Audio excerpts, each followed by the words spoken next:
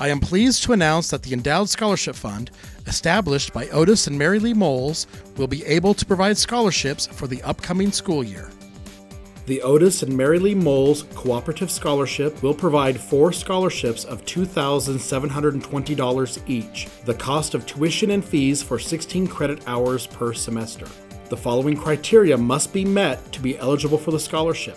The recipient must be a current member or a spouse, child, or grandchild of a current member of the Garden City Co op, or the recipient must be a current employee or spouse, child, or grandchild of a current employee of the Garden City Co op. The recipient must have a cumulative GPA of 2.75 or higher.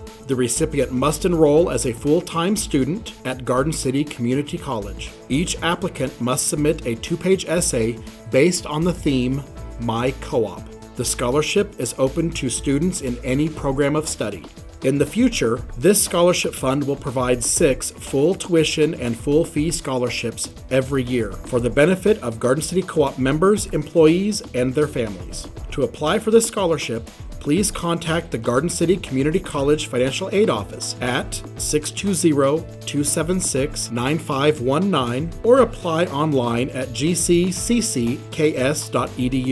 The deadline for applications for the upcoming school year is April 2nd. Otis and Mary Lee Molz hope this generous gift will assist you and your family in the pursuit of your educational goals at Garden City Community College.